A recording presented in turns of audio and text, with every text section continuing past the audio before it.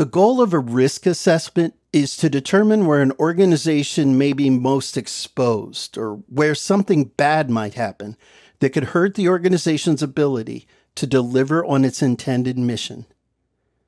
The quality of all other security assessments will improve if you're using the results of a recent risk assessment as one of your key inputs. When you're conducting a risk assessment, your goal will be to identify threats and vulnerabilities that could potentially harm the organization. Knowing the difference between a threat and a vulnerability is essential.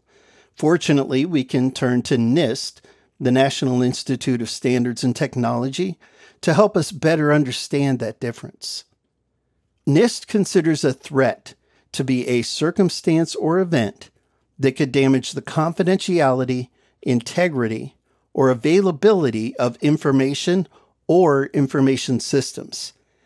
That means if something or someone could expose an organization's secret information, stuff like intellectual property or customer personal information, or if that thing could make changes without the proper approvals, or if that person could take a web application offline, well, then that's a threat.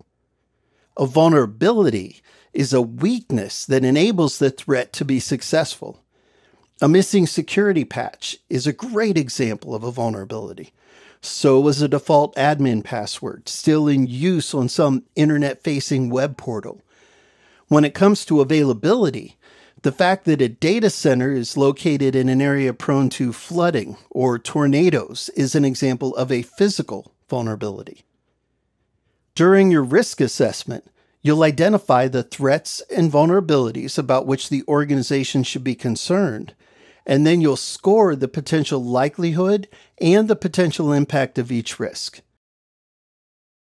Likelihood is the probability that a threat might actually succeed in exploiting a vulnerability.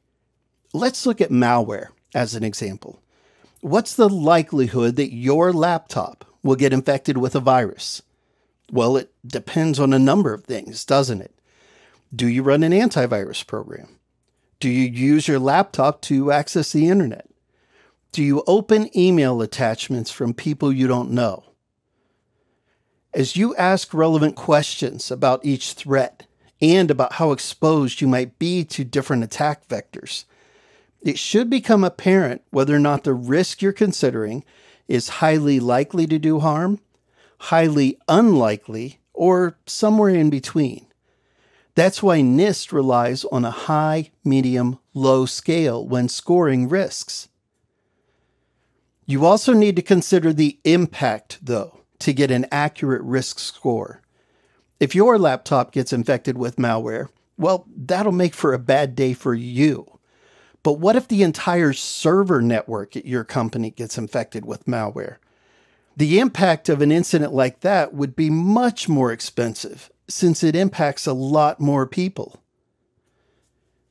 NIST follows the same low, medium, high scoring methodology for the impact as it does for likelihood. All you have to do is combine the two scores, often through a simple math equation, and voila, you have a risk score.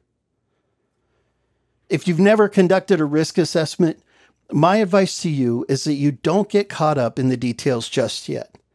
Again, the goal of a risk assessment is to prioritize risks so that you can take the necessary action to reduce those scores to an acceptable level based on the leadership team's risk appetite. When preparing for an upcoming risk assessment, make sure to do your research. Verizon's data breach investigations report has a lot of real world data on actual security incidents that resulted in data breaches and so does the Privacy Rights Clearinghouse chronology of data breaches.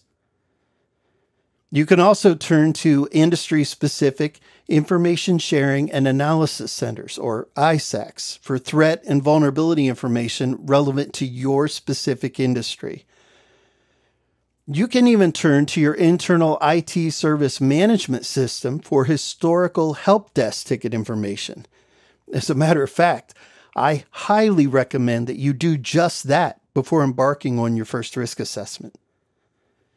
At the end of the day, You should have a report that contains a prioritized list of information security risks that your leadership team will want you to keep a close eye on.